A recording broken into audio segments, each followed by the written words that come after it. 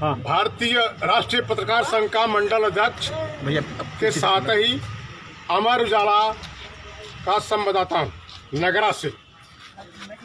नगरा क्षेत्र में भीमपुरा क्षेत्र में भिलतरा रोड क्षेत्र में धड़ल्ले से कापियाँ परीक्षा केंद्रों पर यूपी बोर्ड की लिखी जा रही थी। मैंने अपने सूत्रों के आधार पर संस्कृत हाई स्कूल का हल पेपर सूत्र से लिया और इसके बाद उसको अपने अखबार को, अमर उजाला को भेज दिया। वो अखबार में छपा। विधिवत छपा। जो वायरल कॉपी थी उसके साथ छपा। दूसरे दिन जो है कि नहीं, कहीं से अमर उजाला को अंग्रेज़ी का पेपर मिल गया, वो भी जो है कि ना छपा।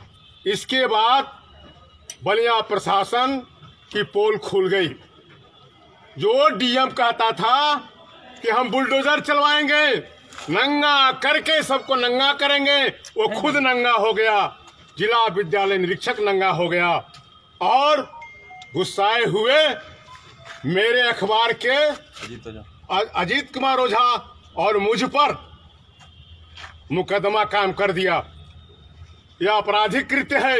आज भी नकल नहीं रुका है। बलिया में नकल हो रहा है लिखी जा रही है कापियाँ बेची जा रही हैं। दो नंबर की कापियाँ आकर के यहाँ जमा हो रही हैं। एक नंबर की नहीं दो नंबर की खुली चुनौती नकल माफियाओं ने बलिया प्रशासन को दिया है। लेकिन बलिया प्रशासन अपनी गलती मानने को नहीं हुआ है। मुँह बंद करना चाहता है।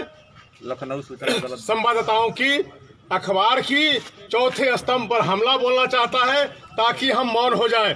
उसको भ्रम है। आपकी किस आधार पर गिरफ्तारी की गई है? कहाँ से पेपर मिला? मेरा इतना उत्पीड़न किया गया है। कोई सीमा नहीं है। तीन दिन से जो इधर है ऐसे हो जाइए ऐसे हो जाइए। तीन दिन से मेरा उत्पीड़न किया जा रहा है पुलिस।